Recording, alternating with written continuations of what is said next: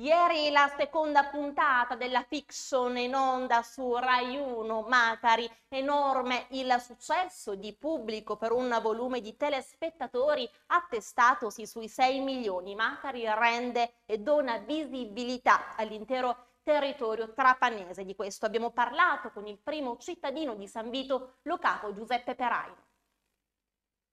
Credo che la scelta di Palomar eh, di girare questa fiction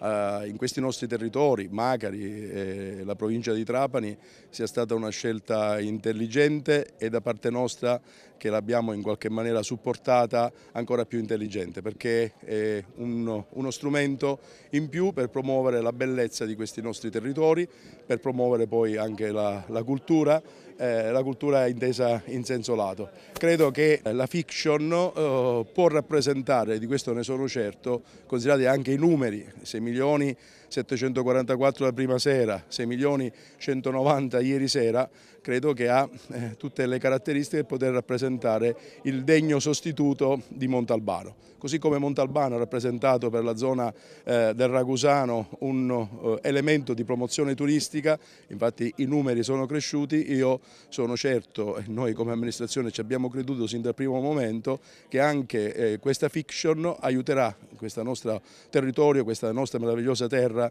eh, di Trapani all'interno di questa nostra meravigliosa terra di Sicilia a crescere ulteriormente da un punto di vista di promozione turistica.